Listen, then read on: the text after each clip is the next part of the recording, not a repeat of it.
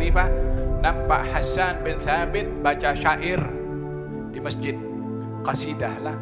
Sayyidina Umar nampak dan dengar Hasan bin Thabit baca syair di masjid Nabi. Kata Sayyidina Umar mengatakan, adakah perbuatan daripada suara syaitan ada di masjid Nabi? Kemudian kata Hasan bin Thabit menjawab kepada Sayyidina Umar, saya membaca syair di tempat ini di hadapan orang yang lebih baik daripada engkau. Yang di hadapan Nabi SAW. Orang yang lebih baik daripada kita pun dengar qasidah. Ini dinyatakan Abdullah ibn Rawaha, penyair. Kata baginda Rasulullah, Ya Abdullah bin Rawaha, adakah kamu hafal beberapa bait syairnya Umayyah uh, bin uh, Abi Salt? Yani Umayyah ini penyair Arab yang isi kandungan syairnya itu uh, bernas. Yani isi kandungannya itu penuh dengan nilai-nilai murni, penuh dengan kebenaran. Ini Nabi tanya, kamu hafal syairnya Umayyah bin Abi Salt? Kata Abdullah bin Rawaha, ya. Kata Nabi, bacakan untuk saya. Dibaca satu bait. Kata Nabi, hi, tambah lagi.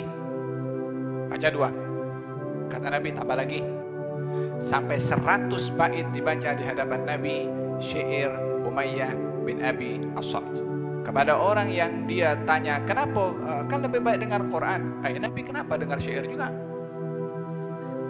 Boleh kita jawab kepada kita kepada Nabi, kenapa tak lebih baik baca Quran? Ada masanya ibadah ini dengan baca Quran la ilaha illallah ada subhanallah ada Allahu akbar ada alhamdulillah ada salawat kepada nabi ada tafakkur. Ibadah ini banyak. Jadi tidak dihadkan tentang satu ibadah sahaja.